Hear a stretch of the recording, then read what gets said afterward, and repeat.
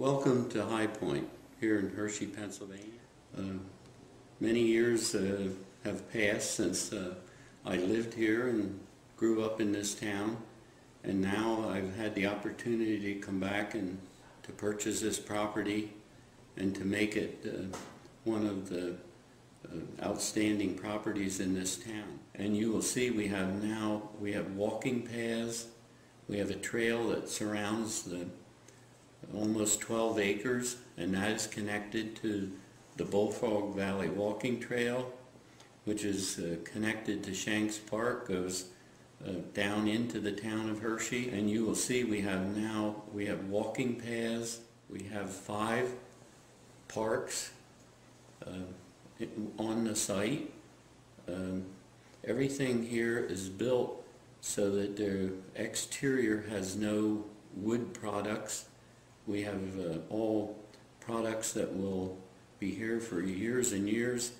Um, it's either fiberglass, aluminum, or what is it, plastic.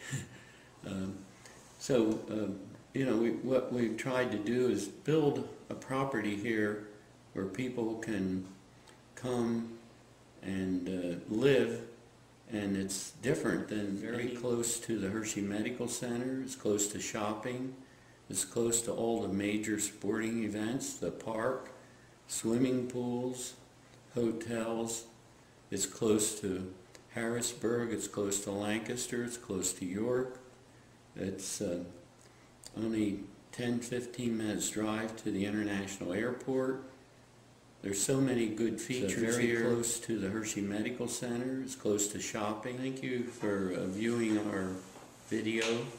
Uh, I'm uh, Dave Bowser. I'm the developer for this property, and uh, we hope to see uh, see you all here.